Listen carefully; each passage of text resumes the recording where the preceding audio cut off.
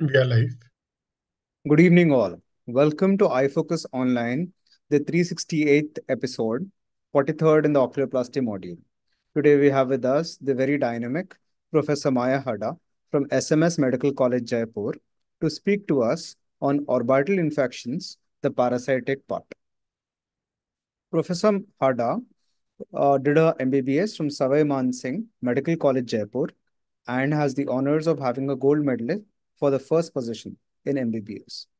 She finished her post-graduation from the prestigious RP Center AIIMS with again a gold medal for the first position. She did her senior residency in oculoplastics in RP Center AIIMS. Formerly, she was the consultant and in charge of oculoplastics at Medanta in Delhi NCR. And currently, she is the associate professor and in charge of oculoplastics and ocular oncology services at SMS Jaipur. She is a recipient of several awards. To name a few, is the Best Video Award at the BOPSS, that is the British Oculoplastic Surgery Society conference at Oxford, the Best Scientific Video at OPAI 2019, the ROS 2022, WOS 22, and the OPAI 2023 and the OPL. She was speaker at many national and international conferences and has many publications and book chapters to her credit and she also happens to be the section editor and assistant editor of prestigious journals in ophthalmology. Over to you, ma'am, for today's lecture. Thank you uh, so much, Shubha, for that kind introduction. So first of all, I am thankful to iFocus Online and Dr. Honavar, sir, for having me here at this prestigious platform where the residents are learning through such an exemplary lectures. So I am going to discuss today uh, the very interesting uh, part that is the orbital parasitic infections. Can you see my slides? Yes, ma'am. Okay. All right. So, uh, orbital parasitic infections, I'll be talking mainly about the orbital cysticercus and the hydatid cyst. And also I'll touch upon the ectoparasite that is orbital myiasis. So I'll start with the cysticercus cyst and uh, getting back into the history, it is surprising to know that cysticercus cyst was discovered way back in 1829 by Sommerings, who discovered the live cyst in the anterior chamber in the human eye. And then von Graefe in 1866 reported so many uh, ophthalmic locations of the cysticercus. He reviewed around 90 cases, and most of them he found uh, intraocular cysticercus. Uh, so what is cysticercosis? It's basically a parasitic infection by the cysticercus cellulosae, and that is a larval form of the Taenia solium that we call popularly as tapeworm. So, uh, how does this tapeworm infect the human beings? There are basically two different terminologies that you must understand taeniasis and cysticercosis. So, taeniasis is the uh, infection by this adult Taenia solium that lives in the intestine of the human being. And the human acquired this infection by eating some uncooked or, uh, you know, contaminated pork, uh, harvesting the larva cysticercus. So the cystis, uh, the Taenia solium basically has this head, and on the head there are uh, these. Uh, the head is also called as a scolex, and it has the hooks as well as the suckers. Then there is the neck part, and then the whole body is uh, consisting of proglottids, immature, mature, and the gravid ones. So these are the gravid proglottids which have the eggs, embryonated eggs, which are expelled in the uh, stool. Okay, so once this gra uh, gravid proglottids are uh, expelled out in feces and these are ingested by the pig and he develops this uh, cysticercus inside the muscles and then through this uh, uncooked or contaminated pork the human again uh, take this taenia inside the body. So this is complete life cycle of the uh, taenia solium. But how does the human acquire cysticercosis? So accidentally if the human ingest these eggs via some contaminated food water or you know salad which are contaminated by the eggs and then this eggs will go into the human body and inside the gastric cavity uh, this chitinous shell is dissolved and then this embryo will come out and penetrate the gastric mucosa and will enter into the portal circulation and via that it will go into the various body parts namely cns eyes, striated muscles, or subcutaneous parts. So most commonly we see the uh, CNS or brain is the most common location of the cysticercosis. Other than that, as I told you, it can be in the subcutaneous it can it can be seen as subcutaneous nodules or it can be in the striated muscles. So what is the reason for these few tissues uh, for having cysticercus is the high glucose or glycogen content in these tissues. So there is a tropism for cysticerci and how does it uh, go into the orbit or eye because you know the uh, the ophthalmic artery is the first and the single collateral branch of the ICA. So via this ophthalmic artery, it will go into the short posterior ciliary artery and then into the choroidal circulation and thereby entering into the subretinal space and the vitreous cavity. Other than that, through the muscular arteries, it will go into the extraocular muscles. So the ocular or orbital cysticercus comprise of around 13 to 46% of the systemic disease. All right. So the intraocular cysticercus is reported very commonly in Western literature. It is said to be most common uh, you know, location in the uh, adnexal or eye cysticercosis, whereas in the Indian literature, it is the extraocular muscles, the myocysticercosis, is, which is labeled as most common. All right. So, as I told you, it enters through the choroidal circulation and then it will come into the subretinal space and vitreous cavity and it's very easy to diagnose. You can just see via the indirect ophthalmoscopy. That was also one reason before we have these imaging techniques developed so much so that it was diagnosed more frequently than the orbital cysticercus now the orbital cysticercus that we are going to talk now uh, have many locations most commonly extraocular muscles and that too superior rectus is the one which is most common then apart from extraocular muscle is the subconjunctival uh, cysticercus that is very commonly seen. And some rare locations for the orbital cysticercus is the optic nerve, lacrimal gland, and the eyelid. So we'll discuss them one by one. Now the uh, myocysticercosis, that is the cysticercus lodged in the extraocular muscle, is a, a typical masquerade okay? So it can have a very different kind of presentations. So uh, uh, how uh, it can have different presentations? Because you know first of all the muscle is inflamed. So it can present as a myositis or a pseudo tumor kind of picture. So patient can have uh, you know limitation of extraocular movements. Along with that there can be some periorbital swelling edema. And then apart from that there can be uh, cellulitis like picture so uh, we have to have a very high index of suspicion in such cases. If patient is having some inflammatory orbital signs and along with that there is movement limitation then think about uh, myocysticercus and get an imaging done. Imaging is diagnostic for myocysticercosis and what you'll see on imaging this is called as a dot in the hole sign. Okay you will see a cyst and in the center of the cyst you will see a dot that is the hyperdense structure because of the scolex and this muscle will be thickened because of the uh, myositis. All right? So this patient uh, presented to me this this was a 13 year old male. And you can see there is a swelling in the upper eyelid. The eyelid is uh, having this edema. And he was also having some pain. And uh, there there is a mechanical ptosis that you can see. Eye was little bit congested and he was uh, you know he was diagnosed as preseptal cellulitis and he was treated with oral antibiotics. But that was not leading to resolution of this swelling. So uh, on imaging uh, i saw that the sr muscle is thickened and also there is a cystic lesion inside the muscle. You can see there is a hypointense lesion and in the center of that cyst there is a hyperintense uh, lesion. So that is characteristic of the scolex inside the cysticercus cyst.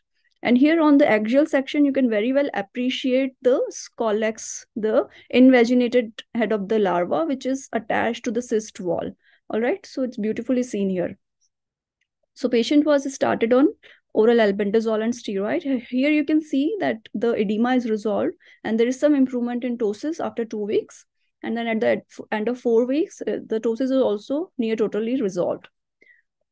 So uh, there are a few reports where myocysticercosis has presented as orbital cellulitis, like in this lady. So always, you know, have a, a high index of suspicion. And how will you differentiate it from orbital cellulitis? You know, the proptosis is not that much that you will see in orbital cellulitis. Chemosis also, also not that much. Then movement limitation is in what particular gaze, not unlike in orbital cellulitis. And then, of course, the imaging is diagnostic. Can there be a vision loss in myocysticercosis? So in this case, there was a very posterior cyst in the lateral rectus muscle and there was the spillover inflammation of the adjacent optic nerve. So uh, it leads to sometimes an atypical optic neuritis kind of picture. So the patient presented with decreased vision in that eye and uh, she was having a vision of 6 by 60 and that resolved of course with the medical management so sometimes it can lead to uh, uh, you know spillover inflammation to the adjacent optic nerve and that can also lead to decreased vision optic nerve itself can have a cysticercus cyst because it's also a vascular structure. It has a supply from the ophthalmic artery. So a uh, few cases have been reported where the cyst was present inside the substance of the optic nerve. Like in this case on ultrasound you can very well see the scolex inside the optic nerve. And then the patient was having a disc edema relative afferent pupillary defect of course decreased vision. So patient has a picture of this atypical optic neuritis in such cases. And sometimes you can uh, also uh, you know uh, uh differentiate it from the optic nerve glioma. So optic nerve glioma with cystic degeneration may also mimic this picture but yes if the scolex is there then it is definitely a cystic cysticercus in absence of scolex it can mimic a optic nerve glioma also. Subconjunctival cystic cysticercus so you will see a very well formed nodular uh, cyst in uh, you know mostly in the fornices or near the caruncle or at the uh, late, near the lateral canthus. Okay why uh, at this location? Because they are mostly present at the insertion site of the extraocular muscles. Okay so basically uh, to my understanding and what uh, is given in the literature it's a type of it's a secondary stage of myocysticercus so basically it's a myocysticercus cyst which anteriorly migrate or present at the insertion site which appears as a subconjunctival cysticercus so this is a B scan ultrasound of the subconjunctival cyst and here also you can see the scolex inside the cyst. So this young boy, six-year-old male presented with this, you can appreciate the lower eyelid swelling and some congestion and he was having little pain and the redness. So on retraction of the lower eyelid, what you can see is this yellowish nodular uh, mass over the insertion of the uh, inferior rectus muscle and the uh, adjacent congestion that is because of the inflammation. And what you will suspect now it is a very clear cut uh, picture of a subconjunctival cysticercus and to confirm the diagnosis you can go for any imaging or ultrasound technique where it will be seen as a hypodense uh, structure. And within that hypodensity you will see the hyperdensity because of the scolex okay the dot in hole sign so the patient was again given a oral albendazole and steroid treatment. I'll discuss about the treatment part later on in detail. And at the four weeks follow-up, you can see first the inflammation resolved a little bit, then the cyst also collapsed a little bit after four weeks. Now, the eyelid cysticercus is basically a subcutaneous cysticercus, which can be in any part of the body. Similarly, it's there in the eyelid. So only uh, two or three cases are reported, and it can mimic anything like a lesion or dermoid epidermoid cyst. And the only uh, uh, way to uh, you know know the diagnosis is histopathology. So like any other eyelid cyst, you can just go and excise it and uh, and just diagnose it on histopathology. Lacrimal gland cysticercus, two cases are reported and it can either present as a dacryops, like in one case, and in the other case, it presented as dacryoadenitis.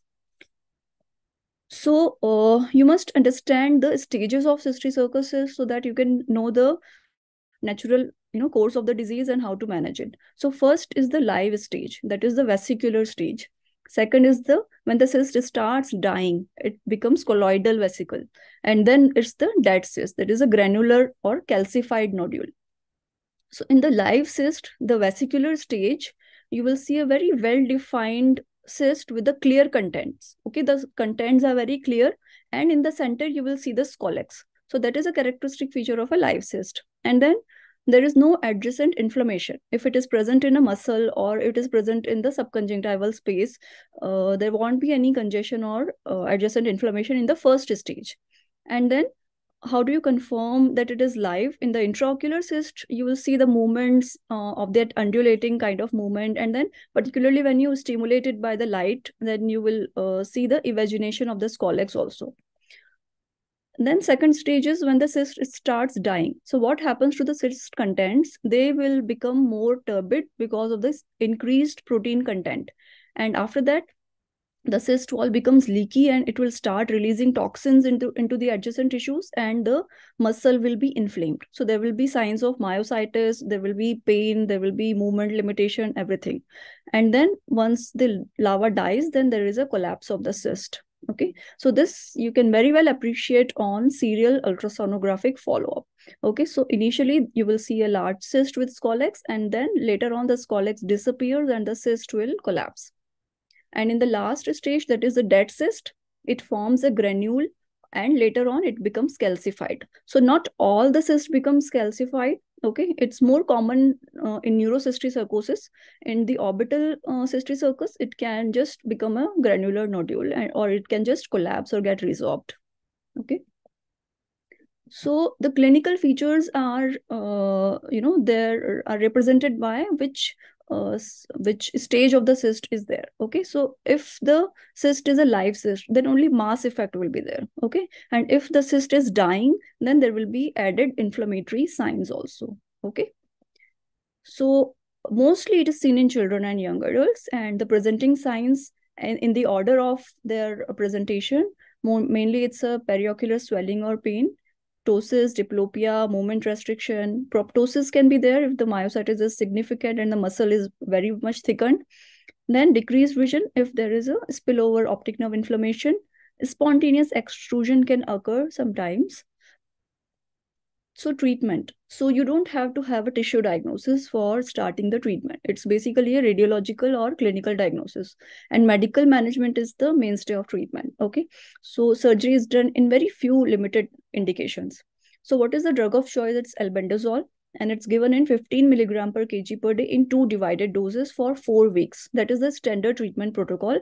And because you know that uh, it will lead to inflammation when the cyst will start dying, so you uh, you add some anti-inflammatory that is steroids along with that. And this dose of the steroid is 1 milligram per kg per day for four weeks and thereafter you taper it for another four weeks. So you're giving albendazole for just one month and you're giving steroids for another uh, four weeks.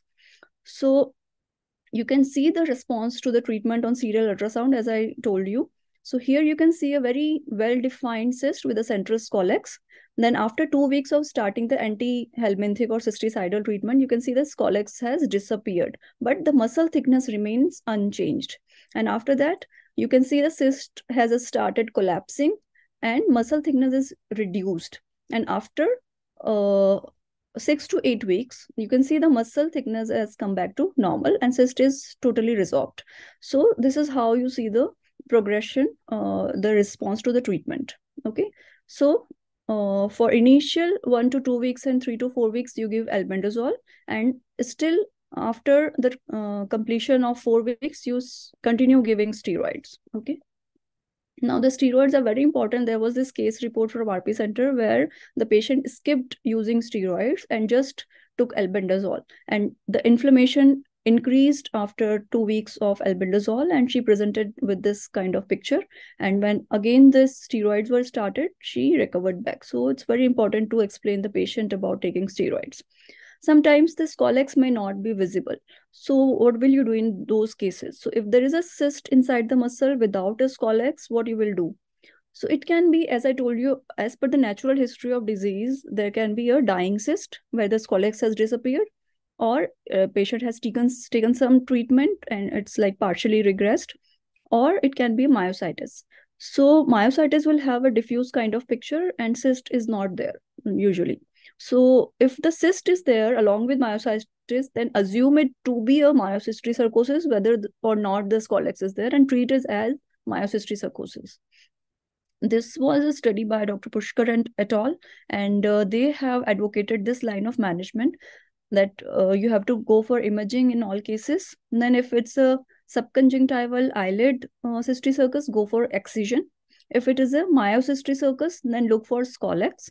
So cystic lesion with scolex, give albendazole steroid. Cystic lesion without scolex, then they have done ELISA test. So ELISA, if it is positive, then go for the albendazole steroid. If it is negative, then just give steroid. So, uh, but now the consensus is that if even if the ELISA is negative and you have a cystic lesion uh, without Scolex, then you should treat it as myocysticercosis only. Now, uh, for all the residents, it's very important to do fundus examination because you have to rule out any intraocular cyst before starting the cysticidal therapy because the cysticidal therapy will lead to uh, leakage of proteins and you know death of the cyst inside the eye and that can lead to a, a severe endophthalmitis like picture. Okay so always rule out that intraocular cyst. And it is said that it's always good to have an imaging of the brain also to look for any associated neurocysticercosis but it is not very common to have combined orbital and neurocysticercosis together. There are a few reports where miliary neurocysticercosis have uh, multiple cysts in the orbit and the muscle and patient had presented with bilateral visual loss that can be attributed to either raised ICT uh, leading to secondary optic atrophy or because of some chiasmal compression or multiple cysts infecting the occipital lobe that was not clear. So what is the role of surgical excision? So definitely in intraocular, subconjunctival and eyelid cyst, surgical excision is recommended sometimes if there is a residual cyst following medical management uh, then also you can go ahead with the excision. So this patient she uh, presented with the lateral rectus myocysticercosis and you can see the very well defined uh, cystic lesion here. She was given the medical management which is the mainstay of management but however the cyst persisted. And uh, here because the cyst was very anteriorly located and accessible so we went ahead and excised the cyst. You have to take care not to use any sharp dissection on the cyst wall and just prolapse it by just excising the adjacent uh, sheath. And uh, this video is basically to show you how the cyst looks like. So this is very thin wall and you can see the scolex inside beautifully. And you have to send the sample for histopathology to confirm the diagnosis. And that is confirmed by seeing the calcareous corpuscles. So the scolex is surrounded by the calcium layers, which are called as calcareous corpuscles. And this is very diagnostic of the cestode tissue. So learning points from the cysticercosis is that it can masquerade as inflammatory lesions of the orbit. You have to have high index of suspicion. You must know the sonographic and CT uh, characteristic features. And medical management is the uh, standard of care. Now coming to the orbital hydatid cyst, this is caused by the dog tapeworm, that is the Echinococcus granulosus. Very common in Middle East, Mediterranean and Southeast Asia, including India. Now the uh, uh, uh like the Taenia solium, the adult lives in the uh, intestine of the human. Likewise, the dog tapeworm also lives in the intestine of dogs. And the uh, the dog releases these eggs in the stools, which are ingested by the sheep through the grass which is contaminated by the stools and then the sheep will develop hydatid cyst inside the various body tissues and the dead organs the viscera of the sheep is then eaten by the dog and this cycle goes on and the man become accidental intermediate host. How? If the embryonated egg in the dog stools are uh, you know if these eggs contaminate any kind of food which is ingested by human and then again these embryonated eggs will go into the uh, you know the stomach and duodenal and then the gastric juices will dissolve the chitinous shell the embryo will be liberated and most of the embryo they get destroyed by the gastric juices but some are uh, you know spared and they penetrate the gastric mucosa and they go into the portal circulation and then they disseminate throughout the body and then most commonly they live into the hepatic uh, system only. And they also go to the lungs and to the cns and the orbit is very rarely uh, uh, you know affected. So these are the various body parts where the hydatid cyst can be found. You know it's in the brain in the in the lungs in the liver kidneys and orbit is affected in 0.3 to 1% in uh, the systemic hydatid disease. All right. So if you look at the hydatid cyst per se when this larva reaches the tissue, it will form the three layers. The outermost layer, which is because of the condensation of the host tissue around the cyst. Okay, it's not actually a part of hydatid, it's just a connective tissue of the host. Then then the second layer is the laminated membrane that is actual uh, ectocyst of the cyst and the innermost is the germinal layer and the germinal layer is the active layer which you know forms the brood capsules which contains the scolices and then they get separated and forms the daughter cyst okay? So it's the aging process of a hydatid cyst. If it's a young hydatid cyst it will be just a mother cyst. And if, it, if it's an older hydatid cyst it, it will contain multiple daughter cysts inside okay?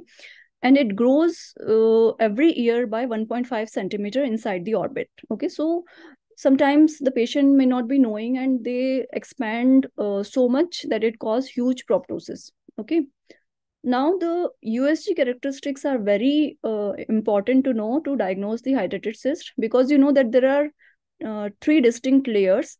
This double wall sign was given by dr betharia and it says that you can see the double wall on the ultrasonography. You can see the inner germinal layer which is separated by laminated layer and the outermost layer and this is there is a clear zone between the two hyperechoic zone which is clearly seen on sonography.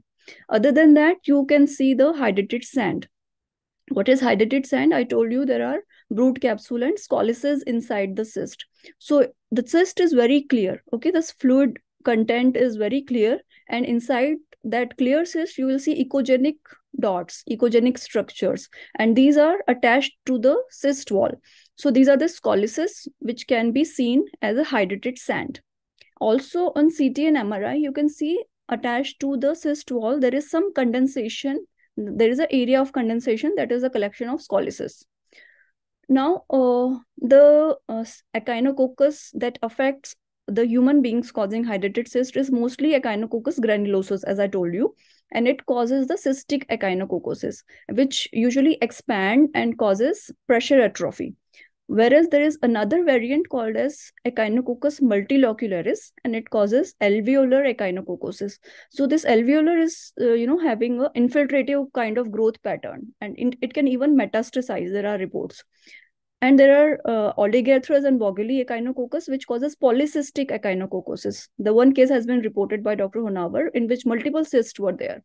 So typically, it is a unilocular cyst, which is caused by Echinococcus granulosus. So coming to the various cases, this was a very huge proptosis in this young lady and uh, you can see that the globe is displaced downwards. She has lost his vision, her vision.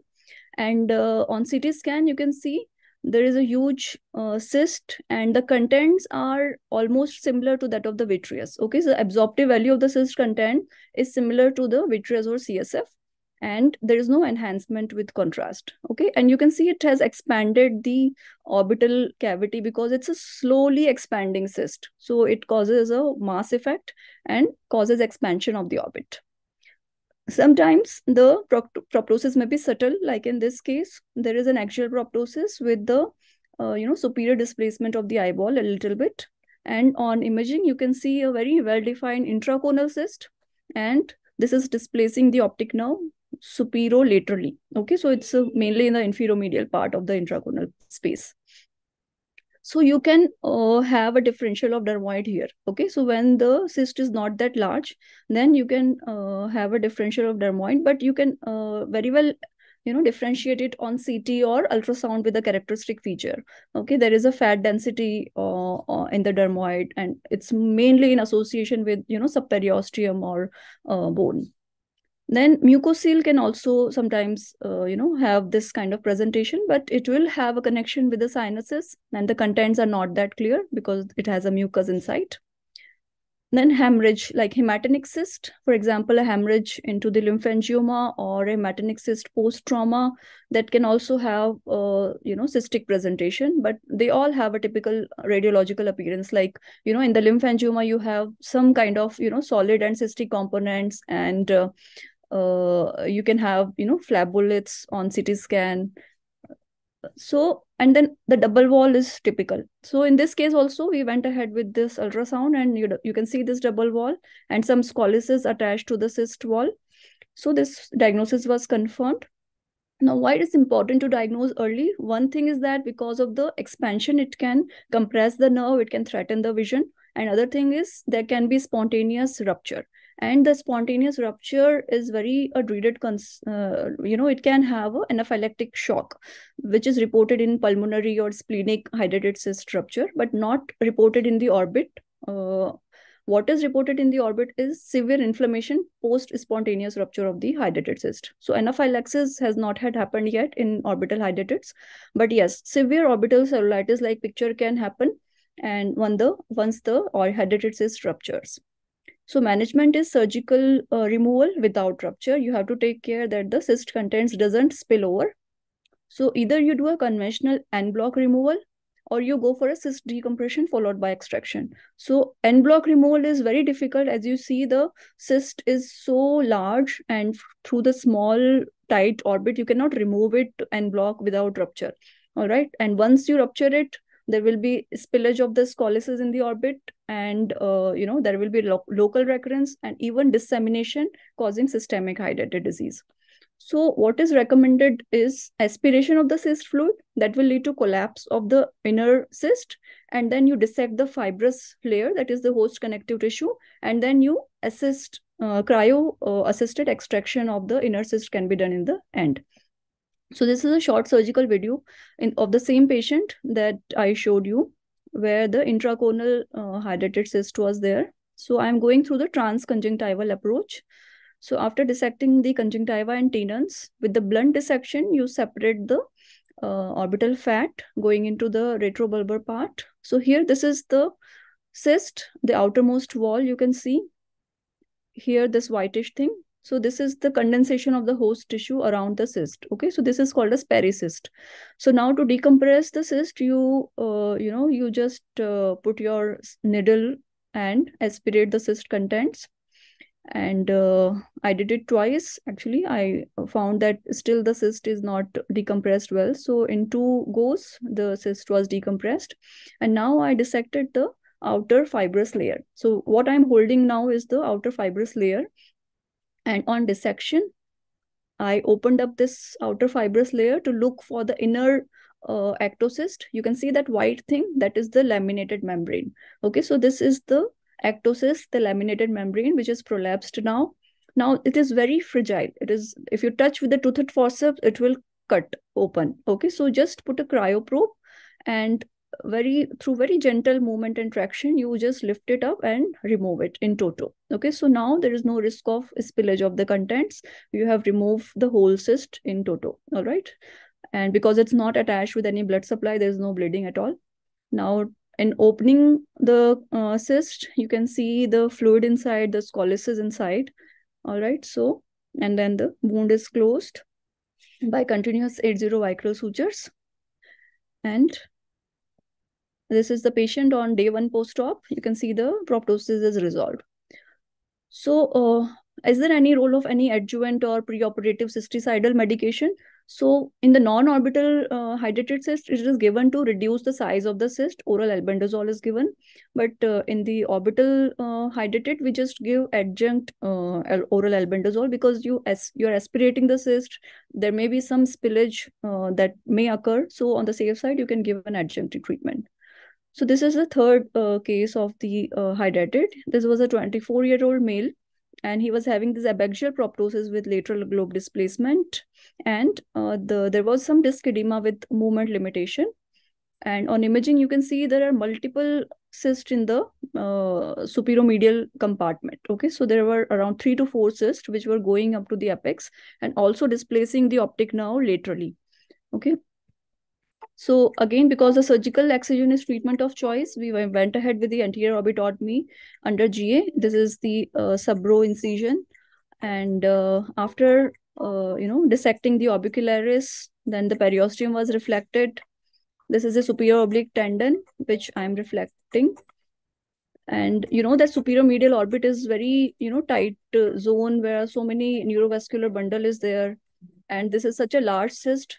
Again, so you cannot remove it en bloc. So again, you have to aspirate it. So this is the 26 gauge needle over 10 ml syringe. So I'm aspirating the cyst contents. You can see the cyst getting collapsed. And, uh, you know, we have to monitor the vitals and all because there is always a theoretical risk of getting anaphylaxis during uh, cyst aspiration also. So this fibrous tissue, which is the condensed outer wall. I am dissecting it out. And then you can see multiple daughter cysts which are lying. So this was very aged hydatid cyst and there were around three to five daughter cysts which were lying. So I'm removing them one by one through the cryo extraction. So second cyst is removed. This is the third cyst. I was not expecting so many because in the CT scan, they were kind of compressed and there were only three cysts which were visible on CT scan. This was the fourth one and very tiny fifth one. So five cysts were uh, removed in total. Then the closure was done. And here again, on opening these cysts, you can see the scolices and these can be confirmed on histopathology. So this is the patient doing well in post-operative period. All right. So as I told you, the polycystic echinococcosis has also been reported by Dr. Honavar, and uh, they have removed around 20 to 30 cysts uh, as they have reported. And this was caused by Echinococcus oligarthrus. And disseminated hydatid disease is not very common. Only one case report uh, I came across that uh, was when the cyst in the orbit was associated with cyst in the liver, lung, and the spleen. Other than that, the orbital cysts are usually invariably isolated. There is no not much role of serology because it's a encysted uh, parasite. So the antibodies are usually negative. Now, PAIR is a very popular technique uh, for the hepatic, uh, this uh, hydatid cyst, which has been tried in orbital cyst also. And here what you do, PAIR stand for percutaneous aspiration and then irrigation with the uh, scolicidal agent and then reaspiration. So uh, Akan et al., they have reported that they aspirated this uh, hydatid cyst percutaneously. 7 ml of the fluid was aspirated. Then they irrigated it with uh, 3 ml of hypertonic saline solution leave it for 10 minutes and then they re-aspirated it. And the cyst collapsed over a period of few months and there was no recurrence so i also tried it in one of my patients. She was very reluctant for surgery and the cyst was very uh, you know uh, accessible. It was lying in the inferior orbit. It was palpable. So uh, i aspirated it and then uh, irrigated it with hypertonic saline. And this was eight weeks follow there was some residual cyst uh, there but on uh, like three months follow up it was like you know reducing up to like 10% of it was there but there was no recurrence then so learning points are if you see a large orbital cystic lesion which is having a chronic or subacute presentation think about hydatid you have to know the ultrasound and imaging features which are characteristic for your diagnosis. Timely surgical intervention is needed okay? And the uh, aspiration followed by removal with cryo is the standard and effective technique. Lastly i'll just touch upon quickly upon the orbital myiasis it's an ectoparasite which is the infection uh, by the larval stage of the fly okay and uh, the orbital myiasis accounts for only 5 less than 5% of the cases of human myiasis and it's most commonly by the botfly larva called as Oestrus ovis Okay, now there are three categories of ophthalmomyiasis. One is ophthalmomyiasis externa, in which the larva attack the conjunctiva. Then there is ophthalmomyiasis interna. When the larva go inside the eye, it causes uveitis. It goes into the subretinal space also. And there is orbital myiasis. Orbital myiasis is seen in when the larva goes into the orbit. And those are the cases which are neglected fungating orbital masses. Okay, when the patient is having, say, a fungating uh, squamous cell carcinoma or basal cell carcinoma, which is ulcerating and not being taken care by surgery or chemo or etc., then there can be uh, there is a predisposition that the fly can uh, you know lay the eggs over there and it will uh, it will grow into the larvae which will burrow deep into the orbit and destroy all the orbital tissues as well as the eye so uh, traumatic wounds around the eye can also get contaminated and can get uh, in, infected with the flies. Okay. So this was a case, 70 year old male. He was having this mass over the uh, right eye and complaining of pain, crawling sensation, foul smelling discharge, and intermittent oozing from the wound. So uh, there was a fungating mass diagnosed as sebaceous gland carcinoma earlier, which was not treated. It's very important to go for an imaging to look for the extent of the myiasis, okay? Because it can, you cannot see the disease from outside. It can go and invade into the sinuses. It may go intracranially also. So thankfully here the disease was limited to the anterior orbit. But in this case, uh, a lady with ulcerative necrosis because of the basal cell carcinoma, and she was having this extensive myiasis of the orbit. Which you can see the medial wall of the orbit is destroyed, the maxillary uh, wall is this thing is destroyed, and the infection is going into the ethmoid and maxillary sinuses. So it can be a fatal disease if it goes into the brain. So management, there are two steps. One thing, just remove the maggots, control the infection, and later on the definitive surgical management. If, for example, if there is a limited orbital involvement, you do a lid reconstructive surgery. If there is a globe invasion, you do enucleation. If there is extensive destruction of the orbital tissues, you do an exenteration. Okay so now there are a few important things that you because you very uh, frequently come across these cases in you know medical colleges the maggots so how will you remove the maggots so these larvae they have this negative phototaxis. If you put the light they will just go inside. Okay you won't be able to catch them. So uh, you should not use any tooth forceps to you know hold them because they have this hook like structure and they you know uh, they clamp onto the tissues and they will break down. They, it will lead to incomplete extraction. So it's always advocated to put some suffocating agent like turpentine oil. So turpentine oil soaked gauzes are put into the orbit and it will lead to suffocation. It will you know it will uh, block the pores of the larva so that they come superficially to for the air for the oxygen. Okay also in similar way the liquid paraffin and petroleum jelly they act. Or you can put some anesthetic agents that will paralyze the larva. Okay so uh, after putting this turpentine oil soap gazing then you can with the use of some epilation forceps or non-tooth forceps you can just plug put them you can just remove them now the treatment protocol uh, the ivermectin is the drug of choice and in severe cases you can use the triple therapy ivermectin with albendazole with clindamycin for five days.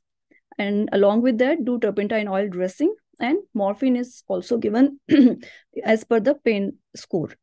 Now, the learning points are it's a rapidly developing, highly destructive ocular parasitosis. Predisposing factors are skin cancer around the eye, untreated eye trauma, and timely removal followed by definitive surgery. It can prevent the fatal complications. So, thank you very much. I don't know if I've exceeded the time. All right. So, yeah. Thank you so much, ma'am, for such an extensive uh, coverage of such an important topic. Mm-hmm. Uh, we have a few questions for tonight from the social media portals. With your permission, can we please go ahead with that, ma'am? Uh, I think you're on uh, mute right now, ma'am. Am I? Yeah, yeah. Now I'm able to hear clearly. Mm -hmm. Um, uh, a few of them have been covered, but uh, for the uh, sake of the other postgraduates who might listen in later as well, uh, one of the uh, viewers has asked, what is the most common location for ocular cysticercosis? Yeah, ocular cysticercosis, as I told you, it comes through the choroidal circulation into the subretinal space, and then it goes into the vitreous cavity.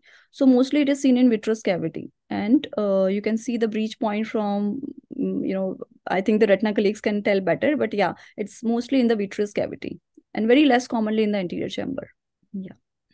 yes, ma'am. Uh, the next question is, is it possible to have multiple foci of cysts in the same eye and the same patient?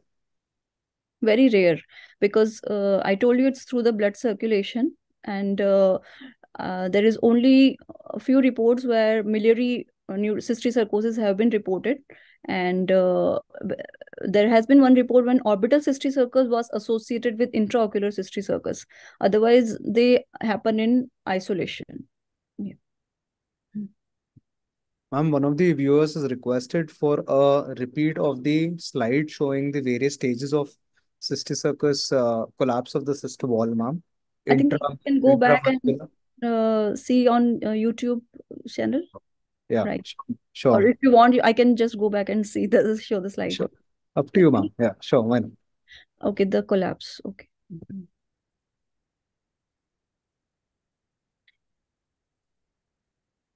The uh, sonographic features, right? Yes, ma'am. Yes, here. So here you can see the response to the treatment on serial ultrasound. Okay. So here, this is the first uh, picture showing the muscle is thickened and there is this uh, cyst with the well-formed scolex inside. And when you start the treatment, this is the picture after two weeks. So here the scolex is not visible. You can see the cyst is still well formed, the muscle is still thickened, but scolex has disappeared after two weeks of initiation of the cysticidal treatment. Now this is four weeks follow-up. So at the four weeks, you can see the cyst has collapsed. Okay, so at the four weeks of albendazole, the cyst has gone. Now there is no role of albendazole. What is remaining is the myositis part. The muscle is still thickened. So you have to take care of the myositis with steroids. So continue steroids for six to eight weeks. And this is the six week follow-up where you can see the myositis is also resolving. The muscle thickness has decreased. So this is the effect of steroids, right?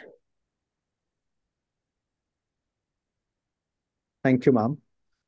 Um, in the surgical management of cysticercosis, what are the precautions to be taken care of to prevent a recurrence?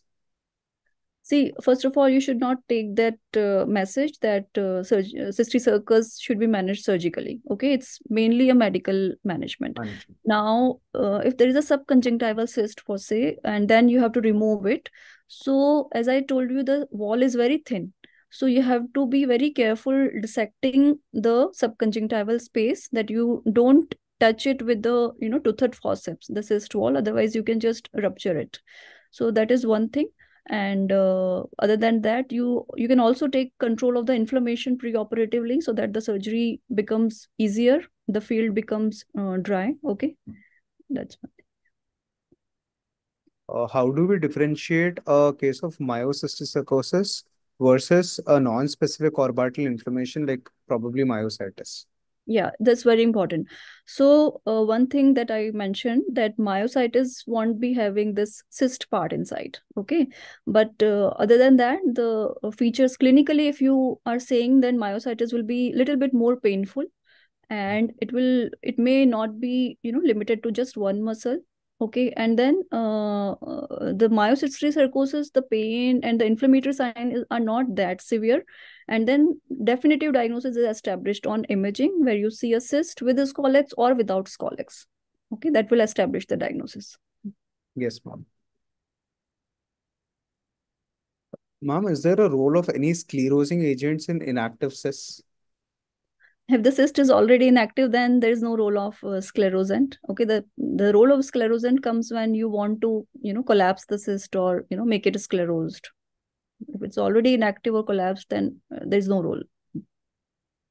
Ma'am preferred imaging uh, in cases of cysticercosis uh, ultrasound b scan versus ct or versus an mri see b scan is the uh, most non-invasive and easy thing to do and that is very diagnostic. So i i would say b scan and uh, uh, ct scan of course has a side effect of radiation exposure. So in my opinion it's b scan. No. But in if, if like it's a deep uh, myocystic and you are not able to locate the cyst sometimes then you can go for ct scan. I have a, a question uh, related to this, ma'am. Ma'am, in cases of myocystic is there a preferential involvement of uh, extraocular muscles? Like if we were to look like lateral rectus muscle is the only muscle with a single ciliary artery, while the other three muscles are supplied by uh, dual uh, ciliary circulation. So yes, is there a preferential involvement? See uh, uh, there are not so many you know uh, literature on these but what has been reported is that around 40% of all the muscles it is superior rectus.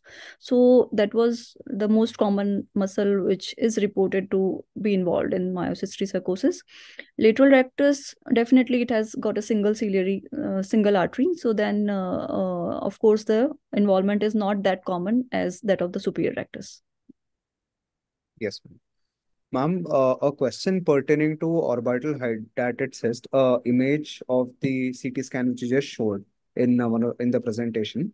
How do we differentiate the clinical plus CT photograph versus a case of a pilocytic astrocytoma or a cystic degeneration in a pre-existing tumor? Optic nerve glioma, you are saying.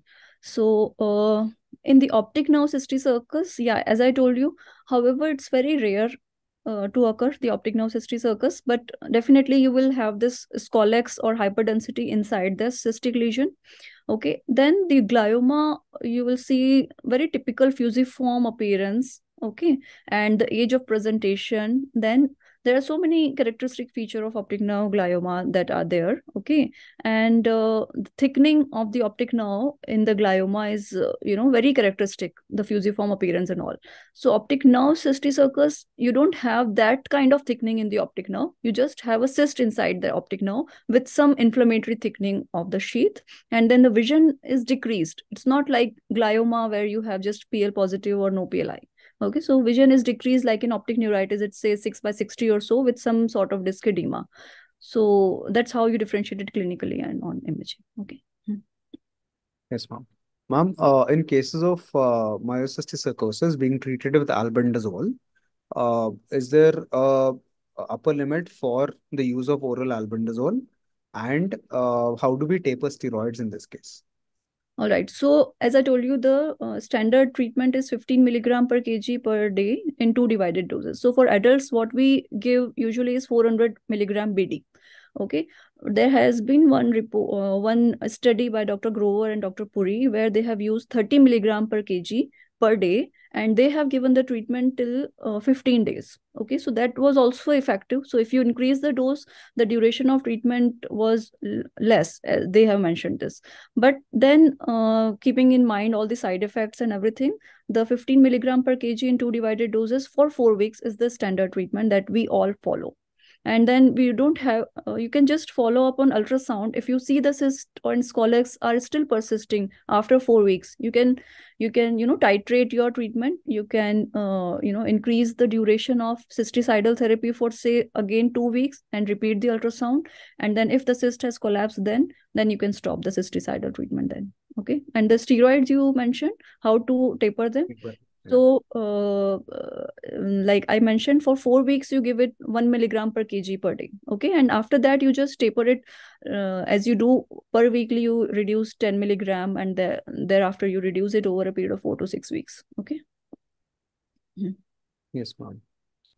Uh, ma'am, one of the questions is in cases of myocystic or uh, orbital cyst, uh, where we are suspecting cysticercosis, how often do we do a systemic screening exam for such patients?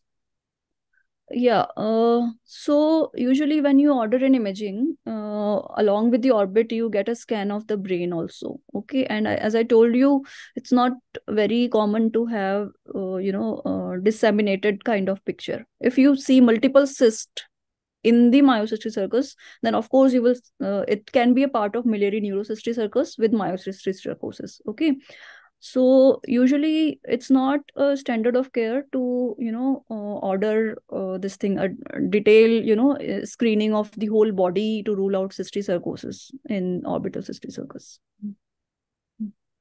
uh, in cases of uh, an individual uh, like a, a pregnancy do we prescribe albendazole with steroids in a case of uh, myocystic yeah that's uh, that's you have that we have to uh, you know discuss with our physician because you cannot uh, skip steroids when you hmm. are prescribing albendazole so okay. uh, you know you can uh, decrease the doses of steroid and you can just monitor uh, it along with the treating physician but you have to give steroids yeah under supervision um, one of the viewers has actually asked what is a management protocol for onchocerciasis onchocerciasis is not that common in our part of the globe and uh, yeah it's basically you see that uh, filaria uh, in the anterior part of the eye mm. and uh, it's basically it's removed usually it's surgical removal is the treatment okay similar to you know you you don't want to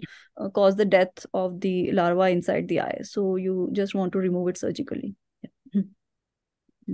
Ma'am, uh, in cases of orbital hydatid cyst or when we have planned a complete cyst excision, in case there is a intraoperative rupture of the cyst, what is the immediate management protocol on table? Yes. So uh, one thing is that you have to wash the operative field so thoroughly with the you know some uh, hypertonic saline. Okay, so that is a scolicidal agent. So Mm. that will uh, one rescue, and then uh, adjunct treatment with uh, some cysticidal therapy in form of albendazole. You have to add for mm, at least I think four to six weeks. And uh, in case there is anaphylaxis and all that, that has to be given a uh, Yes, so anaphylaxis usually happens in when there is a very large hydatid cyst that is in vicinity of some very important viscera. Okay, then only spontaneous rupture uh, can cause anaphylaxis. So in orbit, uh, the anaphylaxis had not yet been reported anywhere. Ma'am, uh, thank you so very much. These are all the questions we had for tonight for you. And uh, thank you for taking out time out of your busy schedule and uh, enlightening us. totally my pleasure, and uh, and so great to be here on this platform again. Yeah. Yeah. Thank you so much, ma'am. Before we conclude for tonight, I have a small announcement to make. We meet next on the 5th of January, which is Friday, 8 to 9. So the lecture being orbital fractures, the mechanism, clinical features, imaging, indications and timing and management, surgical approaches, complications by Dr. Preeti Uday. See you all there. Okay, good night.